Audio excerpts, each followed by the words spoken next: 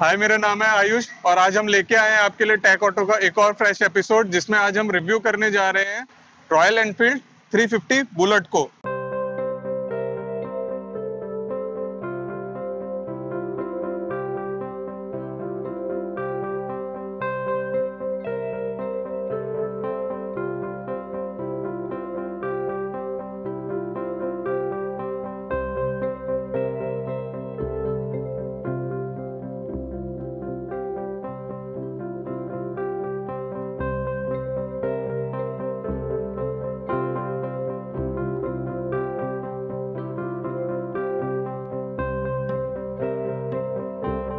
Standard model है ये bullet का, जैसे कि आप देख सकते हैं। अगर इसके लुक्स की बात करें तो लुक्स में कंपनी ने बी एस फोर से बी एस सिक्स में कोई भी चेंज नहीं करा है। इस बाइक को बी एस फोर से बी एस सिक्स में एज इट इज़ लॉन्च करा गया। लुक्स के पॉइंट ऑफ़ व्यू से तो। बट अगर इसके कलर ऑप्शंस की बात करें तो हमको यहाँ पर टेन कलर ऑप्शन देखने को मिलते हैं। एंड इसकी प्राइसिंग की बात करें तो इसकी pricing one lakh thirty thousand से लेके one lakh thirty nine thousand तक जाती है, जो कि ये इसका एक्स शोरूम प्राइस है। ऑन रोड प्राइस इसका वेरी कर सकता है city to city to front look की तो यहाँ पर हमको कंपनी ने स्टैंडर्ड राउंड हेडलाइट ही दिया है एंड हमारे राउंड मिरर्स के साथ ही आती है। यहाँ पर हमको स्टेनलेस स्टील के ही इंडिकेटर देखने को मिलते हैं एंड साइड से भी कंपनी ने इसमें कुछ भी चेंज नहीं करा है। पेट्रोल टैंक पे जैसे कि आप देख सकते हैं, यहाँ पर हमको गोल्डन टाइप से ग्राफिक्स दिए गए हैं, जो कि बहुत ज़्यादा अच्छे लगते हैं। यहाँ पर हमको क्रोम में बैजिंग दी गई है, जिससे बहुत ज़्यादा अच्छा लुक आता है इस बाइक का। साइड में कोई चेंज नहीं है, एंड सेम इसमें बैक साइड पर भी बाइक में कुछ भी चेंज नहीं करा है कंपनी ने, जैसे की आप देख पा रहे हैं। तो चलिए स्टार्ट करते हैं इसका रिव्यू, और आपको बताते हैं इसके फीचर्स। चलिए स्टार्ट करते हैं फ्रंट लुक से। तो हम देख सकते हैं कि यहाँ पर हमको राउंड हेडलाइट दी गई है। हेलोजन बल्ब के साथ में आती है। यहाँ पर हमको साइड में भी बल्ब देखने को मिल जाते हैं, जहाँ पर हमको क्रोम की देखने को मिल जाती है एंड सेम ऐसी क्रोम की फिनिश हमको इंडिकेटर पे भी देखने को मिल जाती है। ये इंडिकेटर्स भी हमारे बल्ब में ही आते हैं, यहाँ पर भी कोई एलईडी नहीं दी गई है।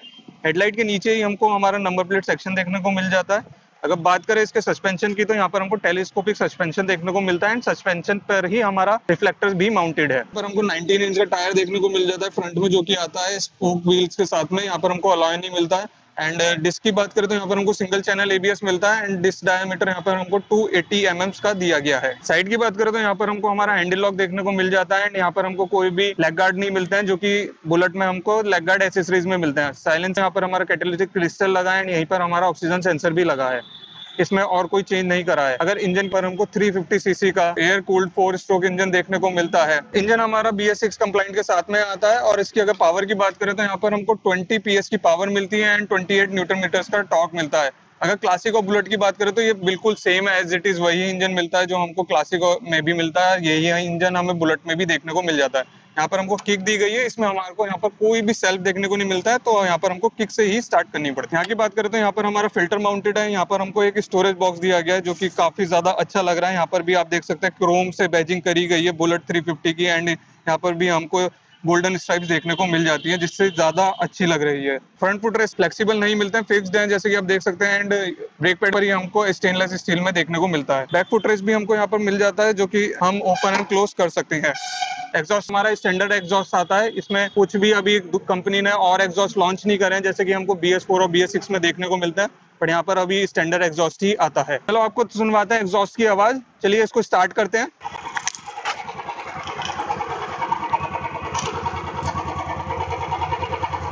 जैसे कि आप देख सकते हैं कि इस बाइक में काफ़ी ज़्यादा वाइब्रेशन है। आपको मिरर पे दिख रहा होगा कि ये कितना वाइब्रेट कर रही है। बट ये वाइब्रेशन जैसे कि मैंने अपनी दूसरी वीडियो में भी बताया है स्टिल में ज़्यादा पता चलता है। वाइल्ड राइडिंग इतना वाइब्रेशन हमको इसमें पता नहीं चलता। इसमें राइट साइड पे चेन देखने को मिल जाती है, जो कि एक ओपन चेन दी गई है, जो बहुत अच्छा लुक जाता है इस चेन का, इस बाइक के साथ में। रेयर टायर की भी बात करें तो रेयर में भी हमको 19 इंच का ही टायर देखने को मिलता है। बट अगर इसकी विर्थ की बात करें तो यहाँ पर विर्थ थोड़ी सी कम है। स्पोक टायर ही यहाँ पर ये ट्यूबलेस नहीं आता है।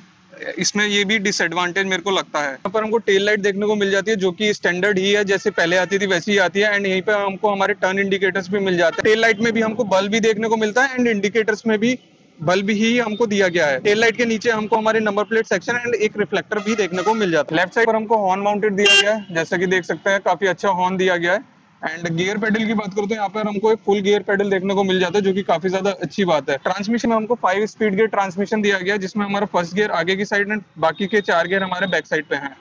अगर इस सेक्शन की बात करें तो ये हमको क्रोम में देखने को मिलता है एंड इसमें हमारी बैटरी माउंटेड है।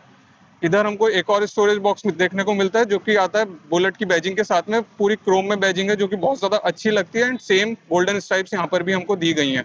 एक ग्रैब हैंडल हमको यहाँ पर भी दिया गया है एंड एक ग्रैब हैंडल हमको सीट के पीछे भी देखने को मिल जाता है।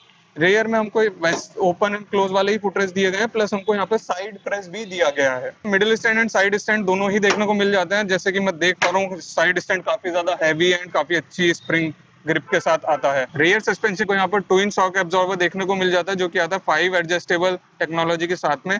एंड ब्रेक्स की बात करें तो यहाँ पर हमको 230 थर्टी mm का ब्रेक देखने को मिलता है, जो कि आता है एबीएस के साथ। जैसे कि हम, मैंने आपको बताया कि ये बाइक सिंगल चैनल एबीएस के साथ में आती है। टायर हमको इस बाइक में सीट के देखने को मिल जाते हैं। सीट हमको सिंगल सीट देखने को मिलती है, जो कि काफ़ी ज़्यादा लंबी सीट दी गई है। एंड देन राइडर सीट की बात करें तो ये थोड़ी सी नीचे है एंड यहाँ पर हमको पिलियन सीट में थोड़ा सा बम देखने को मिल जाता है। कंफर्ट की बात करो तो यहाँ पर हमको दोनों ही सीट पे काफ़ी ज़्यादा अच्छा कंफर्ट रहेगा। जैसे कि मैं आपको बैठ के दिखा देता हूँ कि इसमें फ्रंट में कैसा रहता है एंड कैसा बॉडी पॉस्चर आता है। तो आप देख सकते हैं काफ़ी ज़्यादा अच्छा बॉडी पॉस्चर आ रहा है यहाँ पर। मेरी straight hand and straight back है। पेट्रोल टैंक की तो यहाँ पर हमको साइड में ही देख सकते हैं आप क्रोम में बैजिंग देखने को मिल जाती है रॉयल एनफील्ड की, जो कि काफ़ी ज़्यादा अच्छी लगती है। एंड यहाँ पर हमको गोल्डन टाइप में ग्राफिक्स देखने को मिल जाते हैं, जो कि बहुत ज़्यादा अच्छे लगते हैं।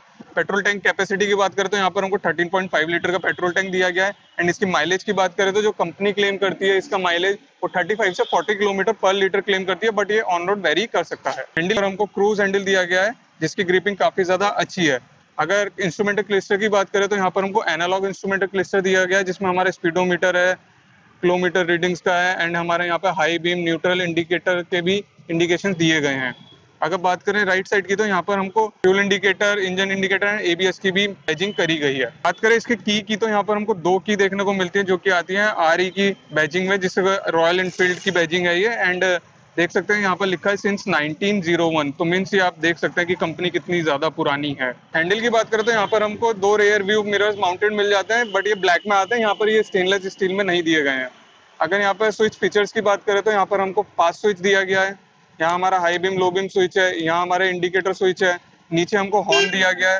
राइट साइड की बात करूँ तो यहाँ हमको इंजन किल स्विच देखने को मिल जाता है बट यहाँ हेडलाइट ऑन ऑफ़ का कोई स्विच नहीं है एंड इवन इसमें सेल्फ भी नहीं आता है। तो ये तो था बुलेट 350 का ओवरऑल रिव्यू अगर आपको ये वीडियो अच्छा लगा हो तो इस वीडियो को शेयर करें लाइक करें और हमारे चैनल को सब्सक्राइब करना ना भूलें। अगर इन फ्यूचर आपको इसकी राइडिंग से रिलेटेड कोई भी वीडियो चाहिए तो आप हमारे कमेंट सेक्शन में कमेंट कर सकते हैं। इन केस आपको किसी और व्हीकल का भी कोई वीडियो चाहिए तो उसके बारे में भी हमें कमेंट सेक्शन में कमेंट करके बता सकते हैं। तो इस वीडियो में इतना ही। चलिए, धन्यवाद।